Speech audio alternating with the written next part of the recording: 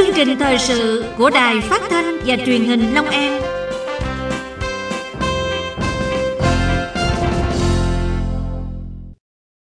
Kính chào quý vị, mời quý vị theo dõi chương trình thời sự của Đài Phát thanh và Truyền hình Long An phát trên sóng AM tần số 756 kHz và FM tần số 96,9 MHz. Hôm nay có những nội dung đáng chú ý sau đây.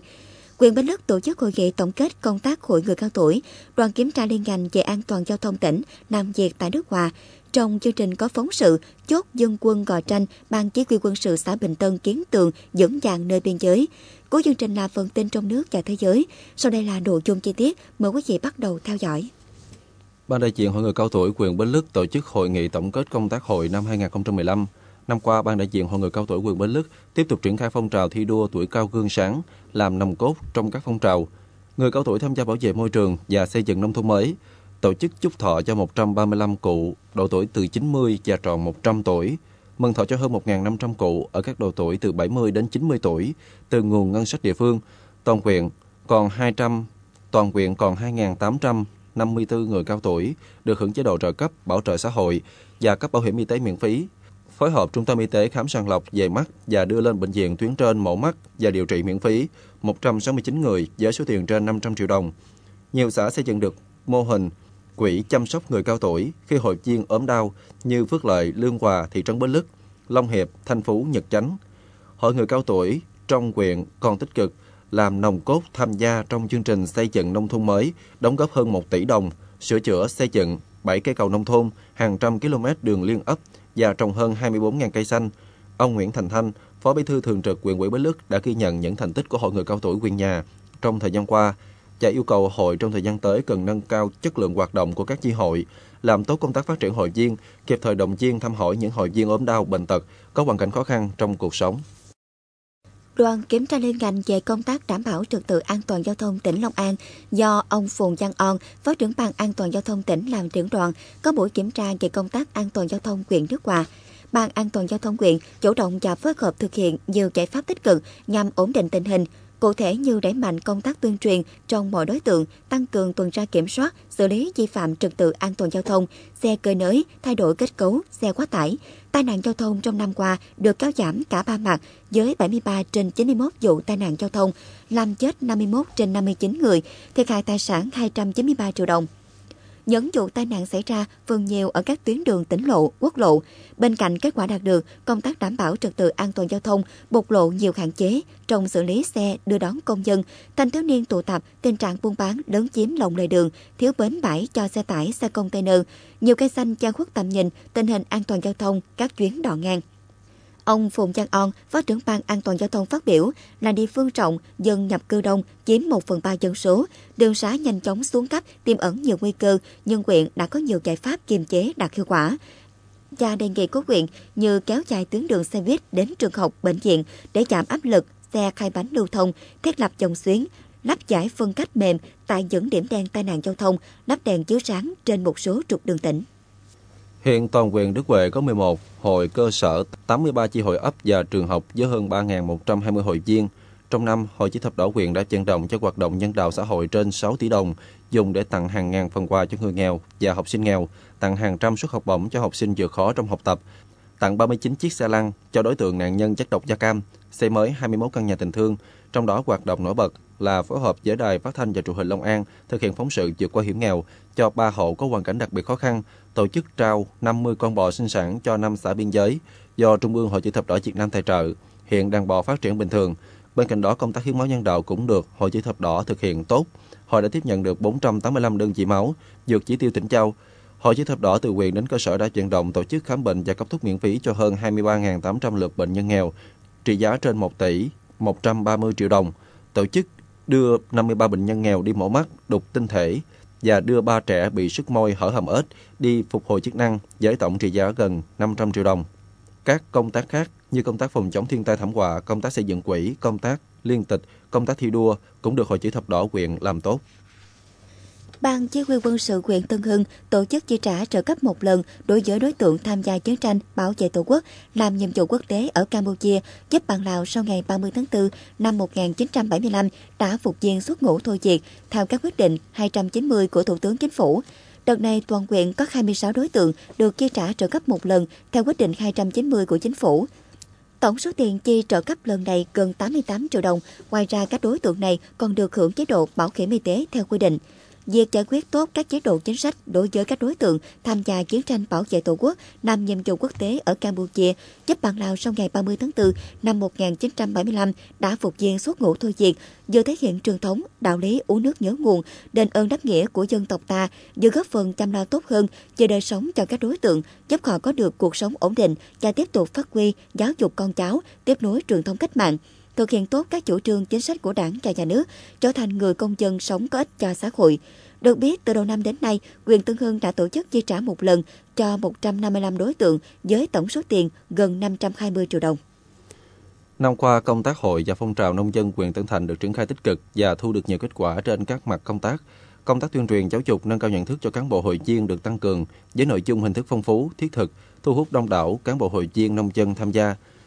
Công tác củng cố xây dựng tổ chức hội trưởng mạnh được đặc biệt quan tâm. Trong năm, kết nạp mới được 570 hội viên, nâng tổng số hội viên nông dân toàn quyện lên hơn 14.000 hội viên. Các phong trào thi đua trong nông dân được đẩy mạnh và thực hiện đạt hiệu quả. Nổi bật là công tác phối hợp chuyển giao khoa học kỹ thuật được 200 cuộc với hơn 7.600 lượt người tham dự. Tổ chức hội thảo đầu bờ được 119 cuộc với hơn 4.365 lượt người dự. Bên cạnh đó, Hội Nông dân còn phối hợp tổ chức được 8 lớp dạy nghề với gần 280 học viên với các nghề chăn nuôi trâu bò sinh sản, nuôi trăng, thủy sản nước ngọt. Qua 20 năm thực hiện cuộc vận động toàn dân đoàn kết xây dựng đời sống văn hóa ở khu dân cư và ngàn gì người nghèo, huyện Tân Trụ được nhân dân đồng tình hưởng ứng và đạt kết quả cao. Nổi bật là phong trào chuyển dịch cơ cấu cây trồng vật nuôi, ứng dụng tiến bộ khoa học kỹ thuật vào sản xuất đem lại hiệu quả sản xuất, các thiết chế văn hóa phát triển nhanh, hầu hết các khu dân cư trong huyện thực hiện tốt xây dựng cảnh quan môi trường, phong trào làm hàng rào, trồng cây cảnh dàn dự tuyến đường bê tông, nhựa quá, tạo vẻ mỹ quan vùng nông thôn. Hiện nay toàn huyện không còn các điểm ô nhiễm môi trường nghiêm trọng. Thông qua cuộc vận động Ngày vì người nghèo, các tổ chức và mạnh thường quân ủng hộ sửa chữa và xây dựng 647 căn nhà đại đoàn kết, nhà tình thương, nhà tình bạn, máy ấm công đoàn và làm nhiều việc thiện trị giá 20 tỷ 300 triệu đồng. Cùng với vận động quỹ vì người nghèo được gần 8 tỷ 850 triệu đồng. Nhiều mô hình tiêu biểu như mô hình xóa nhà siêu dẹo chột nát, mô hình phát huy dân chủ, chăm lo xây dựng kết cấu hạ tầng giao thông, thủy lợi, mô hình cổng rào an ninh trật tự. Thưa quý vị, Bình Tân là một trong ba xã biên giới của thị xã Kiến Tường, có đường biên giới giáp với nước bạn Campuchia. Trước đây tình hình an ninh trật tự trên địa bàn khá phức tạp, nhưng từ khi chốt dân quân Gò Tranh, Ban Chỉ huy quân sự xã Bình Tân được thành lập, người dân nơi đây rất yên tâm và xem chiến sĩ dân quân như con em trong gia đình. Trong thời gian qua, lực lượng dân quân thường trực ở chốt dân quân Gò Tranh luôn bảo đảm nhiệm vụ sẵn sàng chiến đấu, tổ chức huấn luyện quân sự, giáo dục chính trị chặt chẽ, bảo đảm nội dung và thời gian Chốt không chỉ trực tiếp kiểm tra đôn đốc, chỉ đạo thực hiện đúng chức năng nhiệm vụ, tổ chức huấn luyện, bồi dưỡng xây dựng lực lượng dân quân, đáp ứng yêu cầu nhiệm vụ, xây dựng lực lượng vững mạnh, mà còn quan tâm cả về vật chất lẫn tinh thần, bảo đảm tốt nơi ăn nghỉ, sinh hoạt, học tập, công tác, nên hầu hết chiến sĩ dân quân đều phấn khởi hoàn thành tốt nhiệm vụ, góp phần xây dựng thế trận lòng dân, quốc phòng toàn dân nơi biên giới vững mạnh, trong nhiều năm qua, chiến sĩ dân quân của chốt dân quân Gò Tranh còn phối hợp tốt với lực lượng công an xã Bình Tân và đồn biên phòng cửa khẩu quốc tế Bình Hiệp thường xuyên tổ chức tuần tra, tham gia bảo vệ đường biên cột mốc, đấu tranh ngăn chặn các hoạt động buôn lậu, tệ nạn xã hội, góp phần giữ bình yên tuyến biên giới và nội địa. Từ những việc làm và kết quả đạt được trong việc thực hiện nhiệm vụ, tin tưởng rằng chốt dân quân Gò Tranh, ban chỉ huy quân sự xã Bình Tân, thị xã Kiến Tường sẽ mãi chững chàng nơi biên giới là chỗ dựa vững chắc của nhân dân.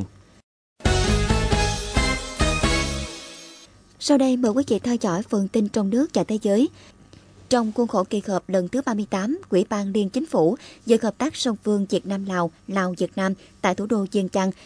đã diễn ra lễ ký hợp đồng tín dụng trị giá gần 152 triệu đô la Mỹ cho dự án thủy điện Nậm Mô 2 giữa ngân hàng BIDV và công ty trách nhiệm hữu hạn thủy điện Nậm Mô Việt Nam.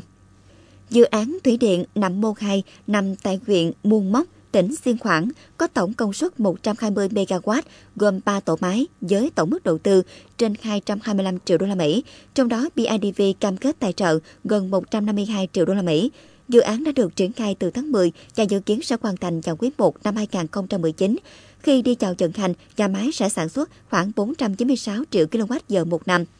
Phát biểu tại lễ ký, Giám đốc BIDV chi nhánh Nghệ An, ông Hoàng Diệt Hùng đã cam kết cung cấp đủ nguồn vốn theo tiến độ và hợp đồng tín dụng đã cam kết, tạo điều kiện thuận lợi để chủ đầu tư thi công công trình, đồng thời yêu cầu chủ đầu tư có trách nhiệm triển khai xây dựng công trình theo đúng tiến độ thi công, chấp hành quy trình quản lý xây dựng cơ bản, chú trọng quản lý chất lượng dự án đầu tư, thực hiện đúng các nghĩa vụ đối với ngân hàng theo cam kết trong hợp đồng tín dụng, sớm đưa công trình vào vận hành một cách hiệu quả. Trong phát biểu của mình, ông Trần Xuân Thành, Tổng Giám đốc Công ty Trách nhiệm hữu hạn Thủy điện Nậm Mô Việt Nam, đã cam kết sẽ thực hiện đúng nội dung đã ký kết trong hợp đồng tín dụng, sớm đưa công trình vào hoạt động và khai thác. Nhân sự kiện này, công ty trách nhiệm hữu hạn Thủy điện Nậm Mô Việt Nam cũng ký kết với công ty bảo hiểm Lào Việt hợp đồng bảo hiểm dự án Thủy điện Nậm Mô 2. Theo số liệu cập nhật từ Bộ Kế hoạch và Đầu tư, năng suất lao động xã hội của toàn nền kinh tế năm 2015 theo giá hiện hành ước tính đạt 79,3 triệu đồng trên một lao động, khoảng 3.657 đô la Mỹ trên một lao động. Tuy nhiên, một thực tế cần thẳng thắn nhìn nhận là năng suất lao động của nước ta hiện nay vẫn còn ở mức thấp so với các nước trong khu vực và không đồng đều giữa các ngành và lĩnh vực. Khoảng cách tương đối về năng suất lao động tuy đã giảm đáng kể, nhưng khoảng cách tuyệt đối trên lệch mức năng suất lao động giữa Việt Nam với các nước ASEAN có trình độ phát triển cao hơn như Singapore, Thái Lan, Indonesia lại gia tăng. Nguyên nhân chủ yếu của tình hình trên là do cơ cấu kinh tế chậm chuyển dịch, lao động trong nông nghiệp chiếm tỷ lệ cao, trong khi năng suất lao động ngành nông nghiệp ở nước ta còn thấp, máy móc thiết bị và quy trình công nghệ còn lạc hậu. Chất lượng, cơ cấu và hiệu quả sử dụng lao động chưa đáp ứng yêu cầu. Trình độ tổ chức, quản lý và hiệu quả sử dụng các nguồn lực còn nhiều bất cập. Tăng trưởng chủ yếu dựa vào đóng góp của yếu tố vốn và lao động, đóng góp của năng suất, các nhân tố tổng hợp còn thấp. Thổ Nhĩ Kỳ ủng hộ khôi phục quan hệ với Nga như trước kia. Đây là tuyên bố của Tổng thống Thổ Nhĩ Kỳ Recep Tayyip Erdogan đưa ra trong cuộc trả lời phỏng vấn kênh truyền hình Al Arabiya. Theo Tổng thống Erdogan, Ankara không ủng hộ mối quan hệ với Nga phát triển theo chiều hướng vô cùng căng thẳng hiện nay, mà mong muốn khôi phục quan hệ song phương vốn đang bị rạn nứt bằng phương thức ngoại giao và sớm bình thường hóa quan hệ như trước đây.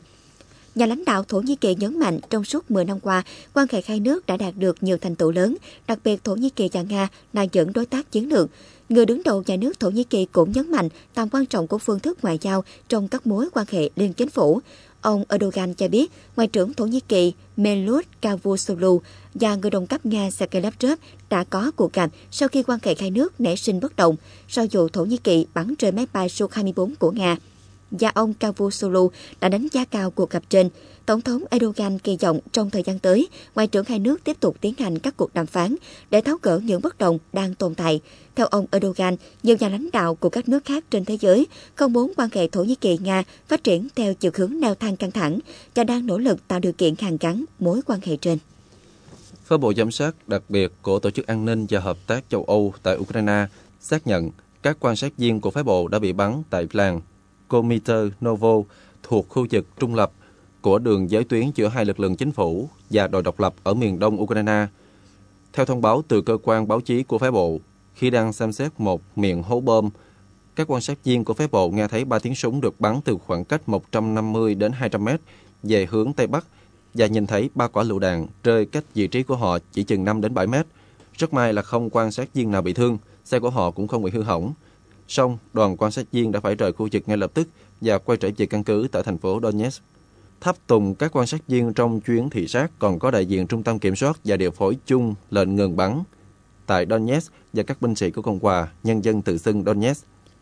Công ty khoáng sản Samarco đã chấp nhận bồi thường hơn 25.300 đô la Mỹ một nạn nhân của vụ tai nạn dở khai đập chứa chất thải độc hại hôm 5 tháng 11 ở bang Minas Gerais của Brazil, khiến 17 người chết và hai người bị mất tích. Mỗi gia đình buộc phải rời bỏ nhà ở cũng sẽ nhận thêm 5.000 đô la Mỹ và sẽ được nhận lương tháng cũng như thực phẩm cần thiết trong thời gian chờ xây dựng nhà mới. Tòa án không loại trừ khả năng sẽ sử dụng số tiền 75 triệu đô la Mỹ của Samarco bị các nhà chức trách Brazil phong tỏa để thực hiện phán quyết nói trên. Trước đó, cơ quan môi trường bang Minas Gerais cũng đã phạt công ty Samarco 30 triệu đô la Mỹ. Samarco, công ty liên doanh giữa PHB Billington của Anh và Australia cùng với công ty Valley của Brazil đã cam kết bồi thường ít nhất 260 triệu đô la Mỹ để khắc phục hậu quả tai nạn được cho là tồi tệ nhất trong lịch sử Brazil. Các chuyên gia cho rằng chi phí để giải quyết thiệt hại lên tới 1 tỷ đô la Mỹ.